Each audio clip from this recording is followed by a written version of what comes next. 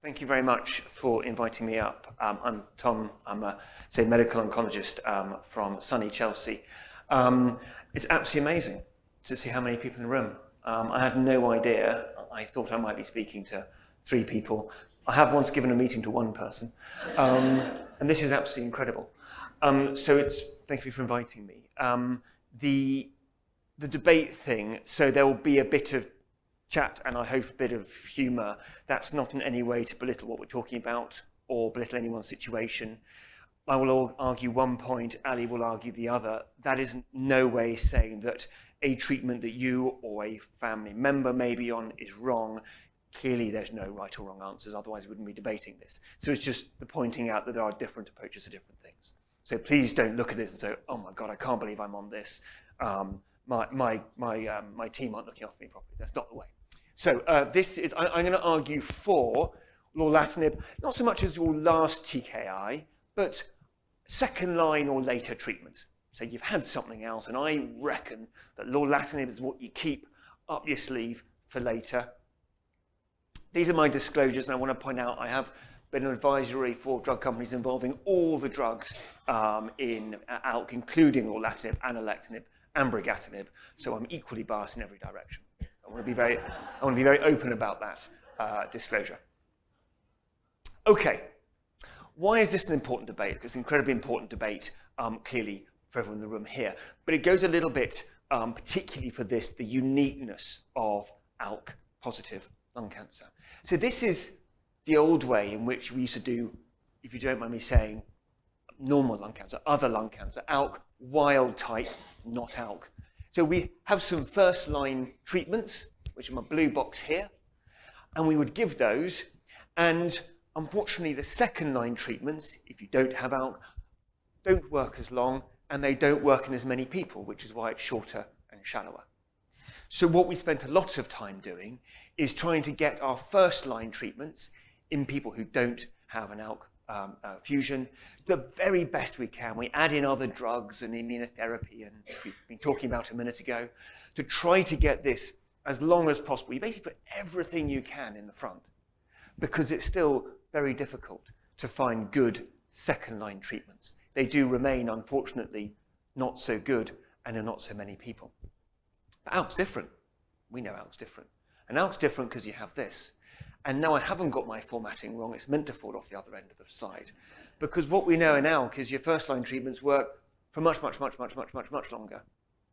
And the second line treatments are much more effective. And the third line treatments are much more effective. So what that means is you don't need to shove everything you possibly can do up front. What you really need to think about, and this is completely unique for lung oncologists, it's completely unique for us, is we've got to think ahead. We've got to think about the sequence we don't have to think about this, but when we first um, see someone in clinic, we need to think, what's my sequence going to be? What, what am I might use as a second line treatment in, I hope, a few years' time? So that's why it's so important that maybe what we're doing is not just saying, I'm only going to think about my first line treatment. I'm actually thinking, more importantly, what's my second and my third, and I would hope later than that as well, treatment. So this is a picture of the way in which drugs have arrived in ALK.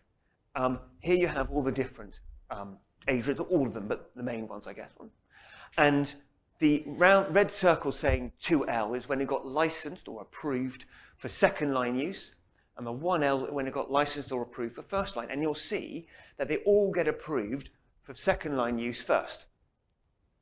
And then the first line use is later, because that's the way clinical trials work. They all get tried in people with relapsed disease first, and then once you know they work, they move their way into first-line treatment. Various triangles are the approvals by uh, uh, CDF, which is in England, uh, SMC, which is Scotland, um, and you can see that lags behind, but actually not bad um, for, for the UK. What you can really see is that these are drugs that came out first, and then ceritinib, and then alectinib, and then brigatinib, and lorlatinib brought up the tail. And so the way in which oncologists tend to do it is we tend to use the first drug we're exposed to. And so the reason um, that, for example, lorlatinib is largely used in the relapse setting, because it was the last one. It was the one that we, we came along last. We were already using these guys.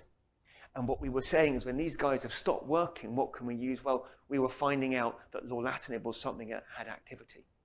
So the evidence we have really for um, a drug after our best first-line treatments, which are these two guys, is lorlatinib because that's the way it worked, because that was the last drug to come in, and that's the ones we've been practicing with.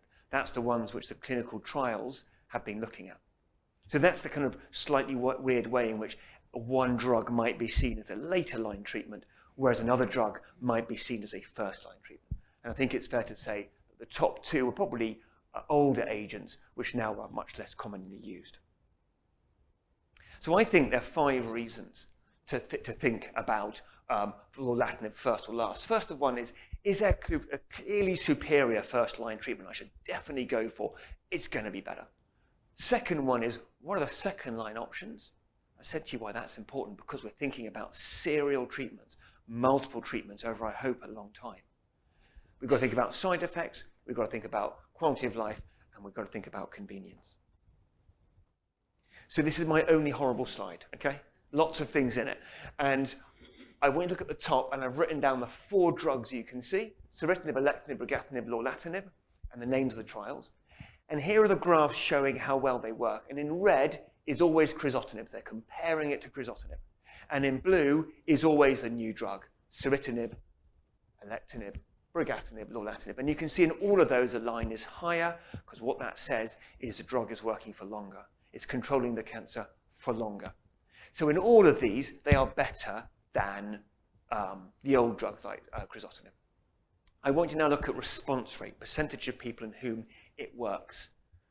Ceritinib, 72%, that's a bit of an old-fashioned drug. But the ones I'm talking about, which I think should be the first line, alectinib 82%, just over, brigatinib 71%, lorlatinib 76%. It's very difficult to compare between trials. They're always different countries, different patient groups, different years. Basically, it's the same. Response rate is the same. And if we look at how long it works for, 25 months, 24 months, now we don't have the answer yet for lorlatinib because it's been going on, it's a later trial, been going on for longer, um, but broadly similar benefit. So I don't think there is one drug clearly superior to the other. I think these three guys are really good. I think ceritinib has been superseded. But I think alectinib, brigatinib, lorlatinib, all very good drugs, all very active, and I think is broadly similar. You may say, well, hang on, you've talked about progression-free survival, how long it works for. What about, about how long overall survival is? We don't have the answer to that, which is why I put the exclamation marks up, because the average, the median, has not been reached yet, which is a good thing, because it's working for a long time. But we don't know that information yet. So I would say these three guys, all very good, and I don't think there's much to choose between them. But the second line option, as we know, is really important. Now, what's the best? Well, I would say lorlatinib is the strongest. This graph here, table, it's not a graph, is of the different drugs, crizotinib, ceritinib, alectinib, brigatinib, lorlatinib, against lots of new mutations which have developed when someone has been on, well, uh, resistance mutations in ALK. And you can see that red, yellow, and green. Red means that resistance is not sensitive to that drug. Yellow means it's not great, that drug, and green means the drug is active. And there's one agent which is active way more than the others, and the answer is lorlatinib. Now, this is done in, in, a, in a Petri dish. This is not done in patients, of course, um, but that tells us this is an active drug against resistance mechanisms of uh, ALK. And what I mean by resistance mechanisms, these are the things that appear and stop the first line ALK inhibitor working. Um, and as we've begun to use um, different drugs, we've learned these different resistance mutations appear. And whether you've been on crizotinib or ceritinib or alectinib, you get slightly different ones, and they're listed here. And all the ones here are the ones there.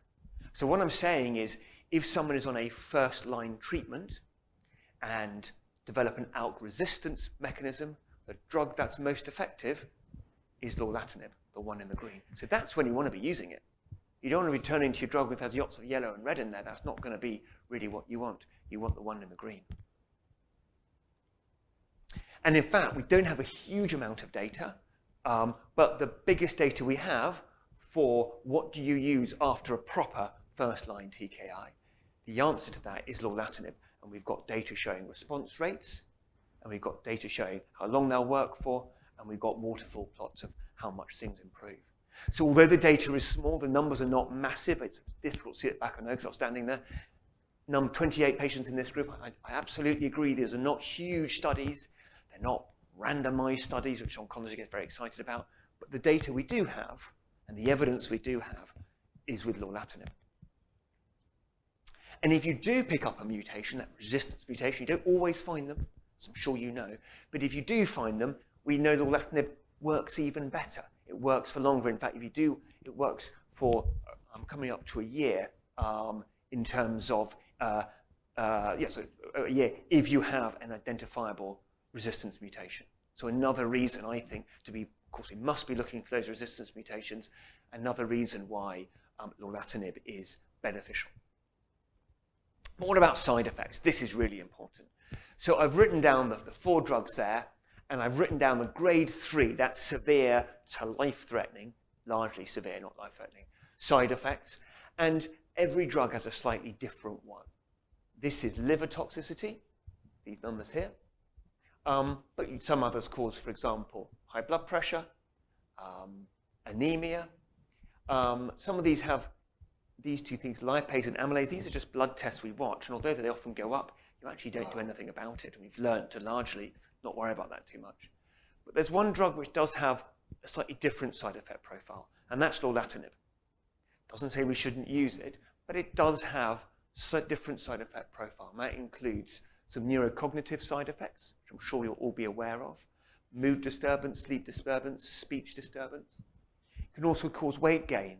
And although it's something one often has a wry smile about with, with, with my patients in clinic, actually it's not funny. Actually, we're gaining it, how we look and how we feel is, is really important. And although oncologists really worry when people lose weight, actually if someone's gaining weight, although you'd think that would be a great thing, it's not a great thing if you're gaining weight and you don't feel like you look like you want to be. Um, and so for that reason, it has a slightly more complicated side effect profile. It doesn't mean we shouldn't use it, but I would argue that these are side effects which are more challenging as a first-line treatment. Um, um, if you look at the people in the trial who stopped the tablet, the numbers remain small. Discontinuation rates remain small. But I think that's a slightly crude measure. Really, the measure you want to know is quality of life. How do people feel? Because stopping a treatment is a major thing. Stopping lorlatinib or alectinib as your first-line treatment is a huge decision. So what about quality of life? Well, actually, if you compare, for example, brigatinib with lorlatinib, what this is saying is that brigatinib, you have a better global quality of life here than with crizotinib. But if you look at lorlatinib, the global quality of life isn't significantly better than with crizotinib. So I would argue that although the treatment discontinuation rates in the trial when someone actually said, I can't take this drug anymore, is broadly the same, maybe even a bit better in lorlatinib. If you look at the real quality of life, what the patients are telling us, I think you see that lorlatinib is associated with uh, a less of an increase in quality of life. Finally, what do the regulatory bodies say? I apologise for, for um, people from Scotland have not included the Scottish lists here because I've struggled to find that information. Um, what it says, it's a little bit complicated, is as our first-line treatment, we can uh, give alectinib and brigatinib, um, and lorlatinib is not routinely funded.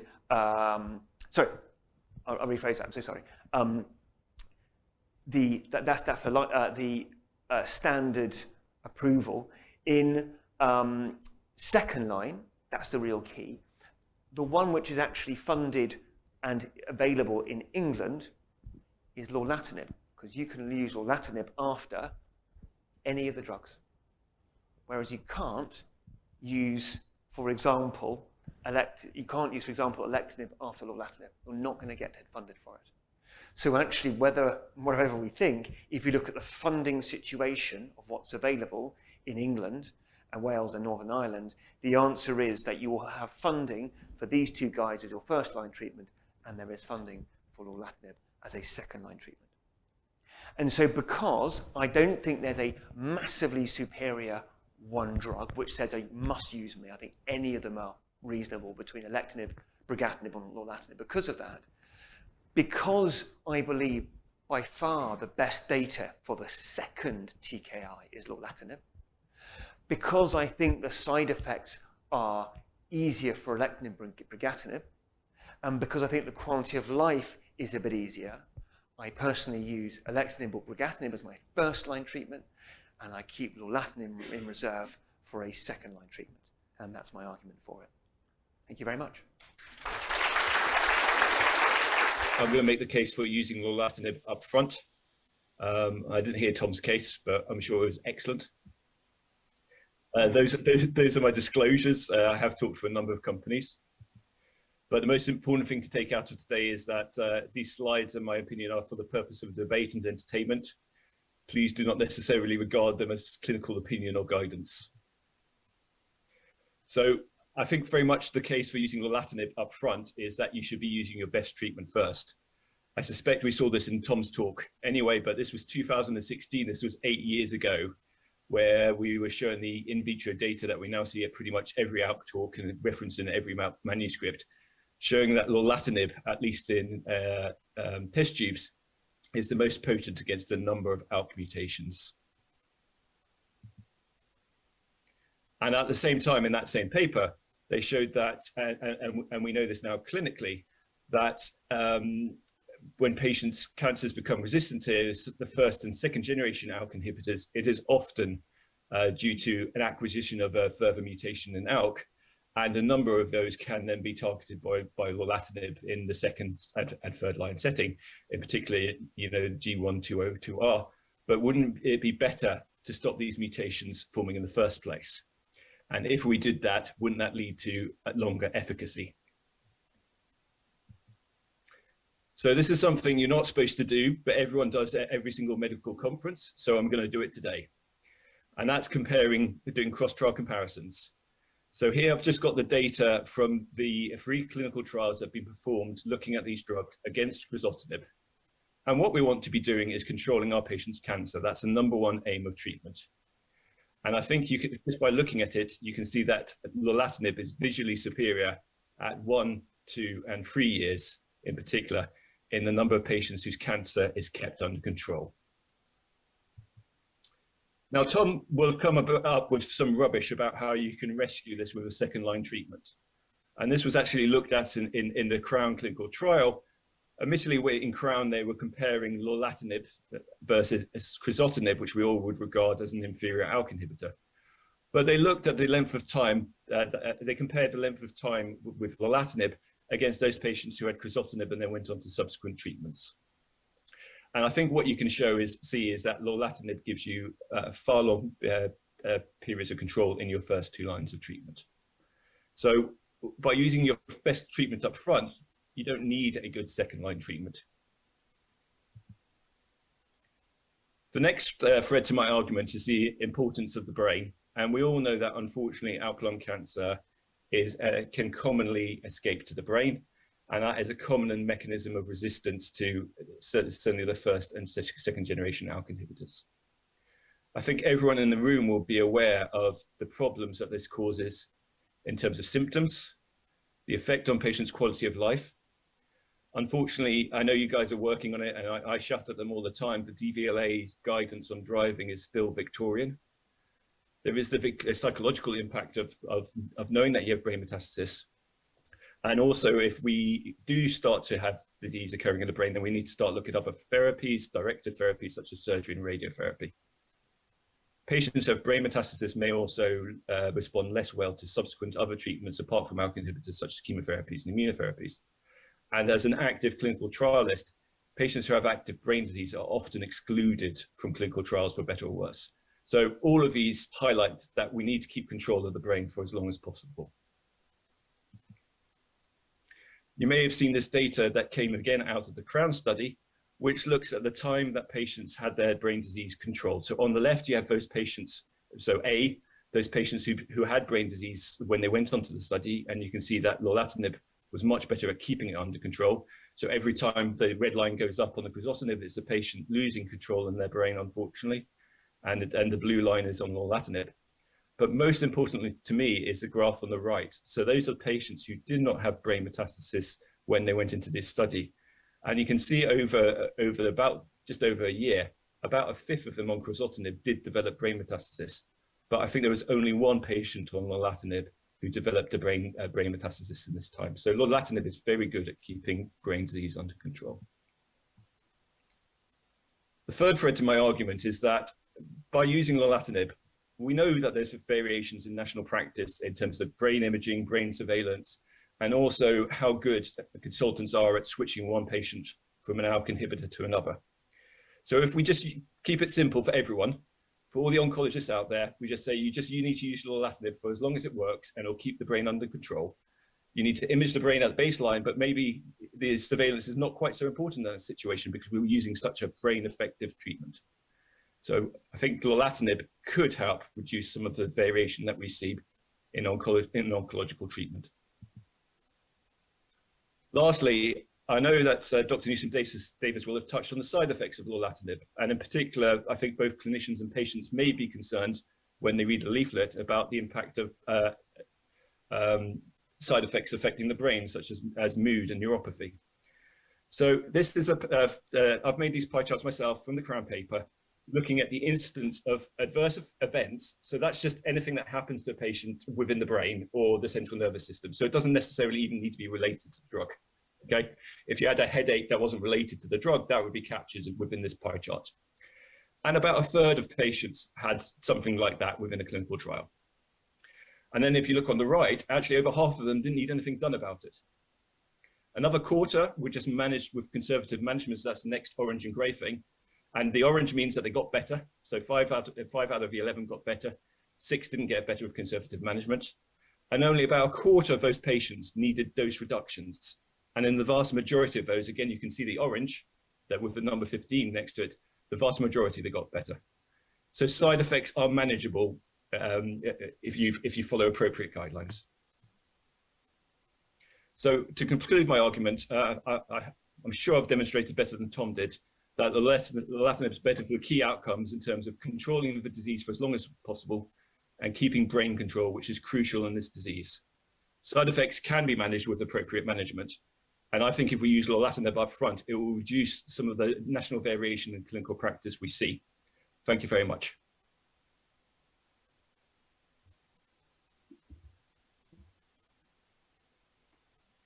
I didn't get any applause. There you are. Thank you very much indeed.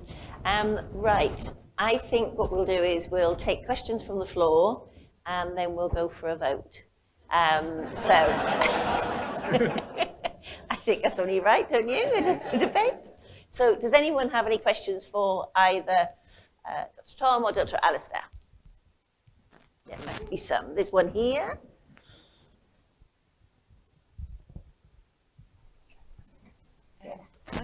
I'm just wondering what sort of resistance people get after lorlatinib. We're all sort of familiar with the green and the orange and the yellow from the prior drugs. But what happens after lorlatinib? Are they are the mutations completely different, or what are you seeing? Ali, do you want to answer that one? Yeah, I, I, so I, I, don't think we know for definite. You do start to see abnormalities in other genes, some of which can't be targeted particularly easily. So, so, so certainly KRAS abnormalities have been shown in a number of patients. Um, you can also occasionally see histological transformation, to, so to to other types of cancer, as we see with EGFR mutant lung cancer. So I think Sanjay's had a patient who's transformed to small cell that they reported on, and certainly we've seen that as well. Um, but a variety of different mechanisms, but not so many within ALK, because I think you're hitting ALK so far. Uh, and, and anything to add to that, Tom, or not?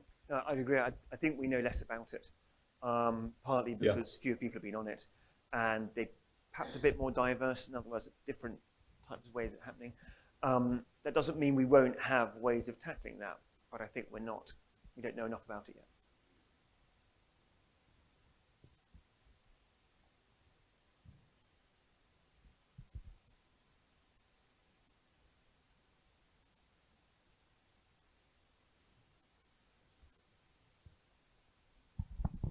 Thanks. Thanks for two excellent presentations and very entertaining. Um, uh, is there any data at all about the either progression-free or overall survival according to the sequencing that you do it? Or is it just too early to have that because the data isn't available? The, the only one I can really see of quality and which is beyond just anecdote is the one I showed with the table with about 28 patients in that group. And that included people who had had a second generation or later, which basically means alectinib or brigatinib, um, and then went on to have lorlatinib. And the overall response rate was around 45%, um, and the progression-free survival median was 5.5%.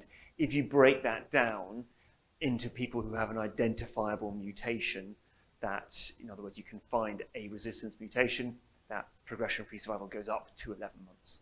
It's very small numbers. 28 is, is, tiny in terms of trying to draw conclusions, and that's really the most I can see. In terms of looking at using other TKIs after lorlatinib, I think it is largely anecdotal unless, unless you know anything I don't know, Ali. But I think that just reflects that, that lorlatinib's come on the scene so much later. Yeah, um, you know, in Crown, when patients did progress on lorlatinib, quite a lot of them did receive subsequent ALK inhibitors, which uh, wouldn't be the case in the UK environment.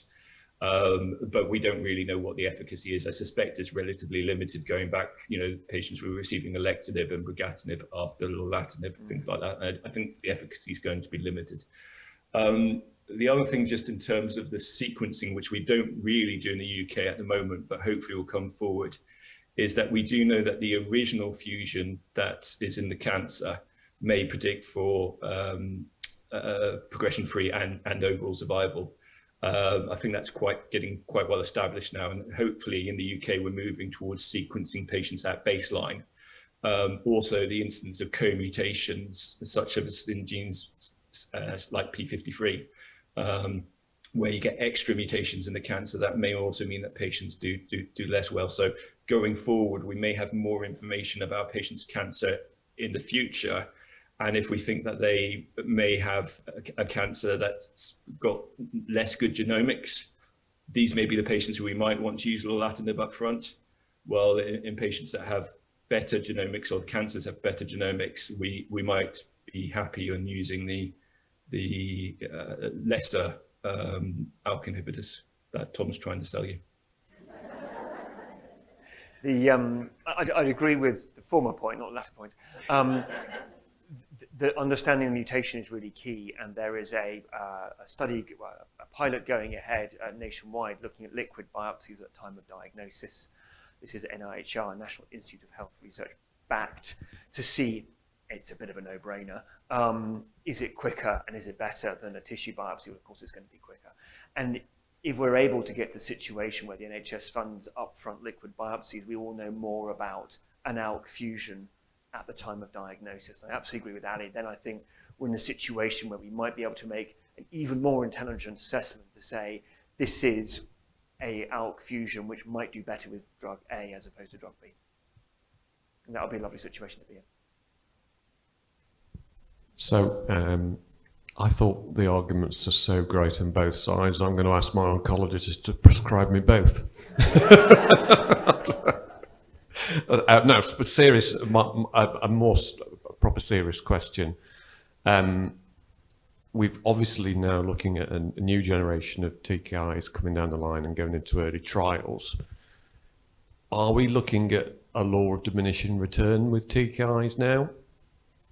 And is, is we, are we really now looking for what the next novel treatment's going to be?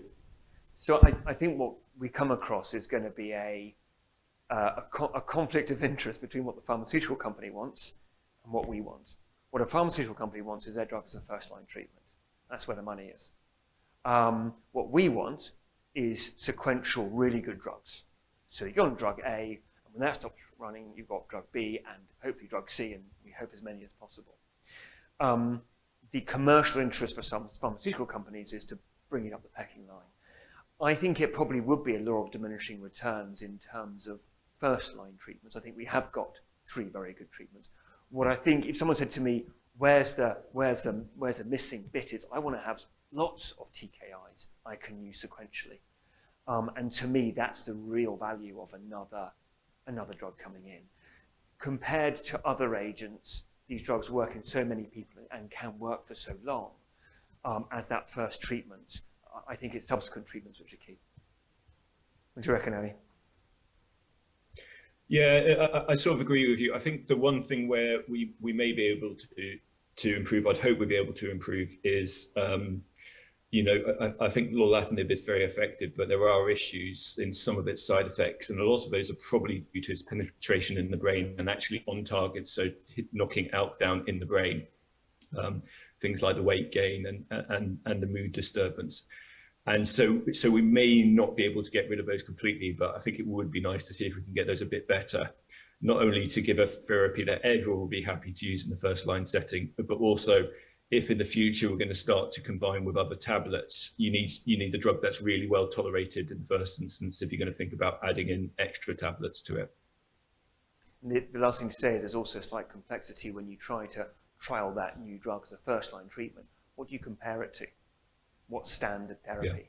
Yeah. Um, and that's quite a complicated one. So it not only needs to be what would the oncologist use, but also from a reimbursement point of view, whether it's the FDA or Europe or UK, it needs to be compared to what's routinely available.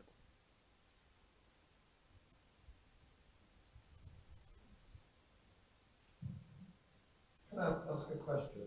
I would guess at the moment with alectinib and brigatinib as the, as the options for first line treatment, that patients are not greatly involved in that decision, um, that it's generally the oncologist that will make that decision. When lorlatinib becomes first line choice, which it almost certainly will, probably will anyway, is there a role for patients to be involved in that choice and, and how would they be involved? I, I think should always be involved and I should be involved before lorlatinib becomes available. So I would always go through, I don't mention crizotinib, I don't mention ceritinib, I don't think they're relevant. I definitely have a discussion about the A and the B, which to me is alectinib and brigatinib. Um, and I think if we don't do that, then we're not doing our job properly. Um, and actually the great majority um, of patients with an ALK positive lung cancer would, would come in knowing that because you're a very different patient group and know, know that stuff. And I think that's the best, that's the that's the most interesting part of, of, of a, of a doctor-patient interaction is when someone's saying, well, this is, this is what I know is available. What, what do you think? And you have a discussion about the pros and cons because it's not me taking the drug. I'm prescribing it, but I'm not taking it. So that discussion should have na happen now, and it'll be even more involved when we have a third agent available. So, uh, uh, Tom, I think I think you're a bit in your ivory tower here. Um, you know, I, I think um, particularly when patients first present, and we're starting on on the tablet, so much has happened to them so quickly. Many of them have not yet had involvement with UK or had a chance to look on the internet, and many of them will just be told, you know, this is the ALK inhibitor we use. Here you go, and not have that have that discussion about about choices. I think it's it's difficult for you as a patient group to reach the, the patients early on um, you know, I know Deborah and, and, the rest of the team have been talking to the lung specialist nurses, and they're probably the people that can help you um, uh, get to patients when when they may need support early on. And equally, um, they may be the ones who are saying, well, actually, there's more than one ALK inhibitor out there, because as you say, oncologists, uh, not all oncologists, but some oncologists just give out the one that they they want to or the one they feel most comfortable with, particularly if they only see one or two outpatients a year. And I, think that that's a real challenge, you're absolutely right, which is doctors are creatures of habit. And if you don't see it very often, you'll reach for the same one.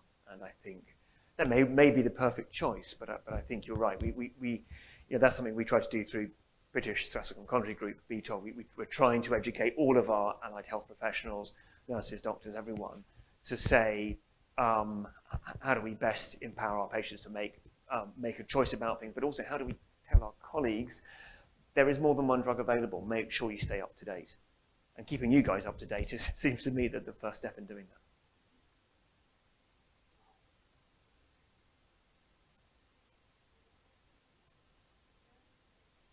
So now we have Andy. Right. After Andy, we will go to the vote. I'm very intrigued. at the pair of shoes under here. Oh, right, you got two. Very, very organised. You You've I thought both, you got rid of someone. You've both presented very good arguments, and I'm struggling to differentiate. Um, is cost a factor that oncologists have to consider? Honest truth is, certainly I can speak for England hospitals, but no, because there is a cost difference. but actually, for my department, for my hospital, it doesn't make any difference. So that cost difference is borne at a national level. Um, now, that might seem a bit of a stupid argument because you could say, well, there is a cost because we all pay into the NHS. Ultimately, it doesn't matter whether you have a North American private healthcare system or a UK socialized healthcare. Ultimately, we all pay for healthcare one way or another. So um, there, there, there is a cost implication, although it's not, to my understanding, huge. Um, but I don't think when I make that decision between, for example, alectinib, brigatinib or lorlatinib, the one thing I'm not thinking about, interestingly, is cost. Ali, do, do you see it differently? Uh, for once, I agree with you. I, uh, I did notice that one of Alastair's slides showed um, MRI scan every three months, and then it disappeared from the screen. And I was just thinking, you know, what the impact of that might be, given that some of us are having trouble getting an MRI scan done on a, a you know a reasonably regular basis. Or is it, is, would an MRI scan just be for people who are known to have uh, brain mets, really? I, I, think most of us would say that regular MRI scans um, in a patient with ALK positive lung cancer is an important part of what we do. There is a great variation in accessibility of that. And there's also great variation, as Ali pointed out so clearly, Ali, um, in, in uh, how up to date our colleagues are in doing that. I personally do do them every three to six months, depending a little bit on where you are. Um, it's, uh, I don't want to bring politics into it, but in, in, a week where we've just had a cut to the national insurance rise for health, health and social welfare, you worry where the money's going to come from to allow more MRI scanners. And that's a real concern. I think Ali's point about the variation in treatment is, is really key.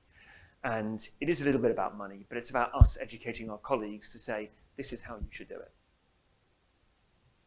Ali, what, what, what do you reckon? Yeah, no, no. I, I, I, again, I agree with you. You know, we've got one eighth the number of MRI scanners that Japan does. At the moment, I'm waiting, waiting about six weeks for an MRI result. You know, um, trying to get three monthly MRIs is going to be challenging. Should be better. Yeah, we should be. So, lady at the back.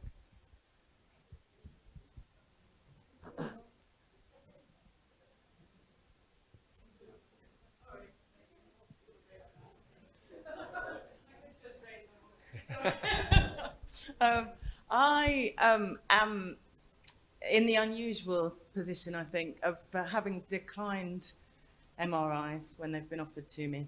Um, because I don't really want to know whether I've got brain metastases and I don't want to lose my driving license because at the moment my lung cancer doesn't have an impact on my children's lives and if I lose my driving license it will although I'm also worried about air pollution and the fact that I'm driving them around doesn't help the next generation of potential lung cancer patients. Um, I wouldn't have asked this, but I wonder, because we came onto it, do you think I'm stupid for declining a brain MRI? and you're not that unusual. Okay. Um, lots of people say thanks, but no thanks. I think, and it's it's something we should have touched on, and we talk about it quite a lot in our educational meetings. Lots of people will say, "I don't want to know," and I, I, I think it's very reasonable. I'm not sure I'd want to know. Okay, thank you. Andy, what, what, what do you reckon?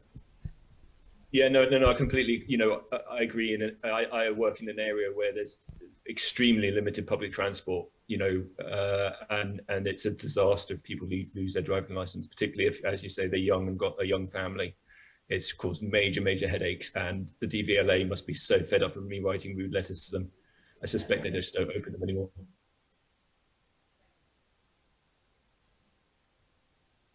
Okay, ladies and gentlemen, now we come on to the exciting bit. So, people who vote for me get free biscuits and a beer.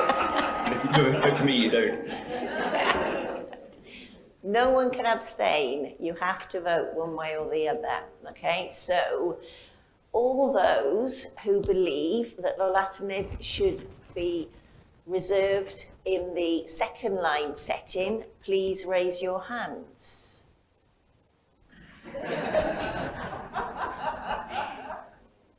Alastair, I'll go through the second question, but I think I might be wasting my time. Right, all those who believe that lorlatinib should be used first line.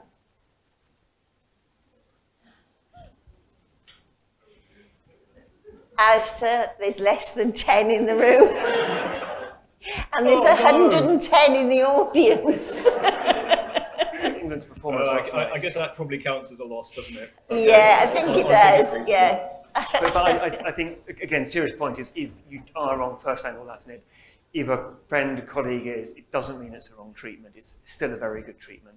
The, you know, these are these are semantics we're discussing, and we, we have the luxury of having at least three very, very good drugs. So, so please don't think that you're on the wrong drug because you're not. No, absolutely not.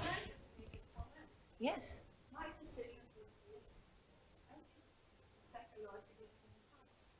Well, been given one and said this is it, and been saying, uh, because I told everybody, this doesn't work. This is around the corner, and this is doesn't work, then that's around the corner. And that's easy to provide. Yeah. And I think it is for everybody here. Yeah, exactly. You want that safety net behind you.